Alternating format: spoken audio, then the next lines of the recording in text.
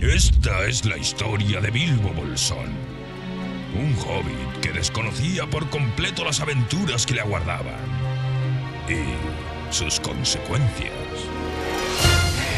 ¡Mi anillo! ¡Necesito salir de aquí!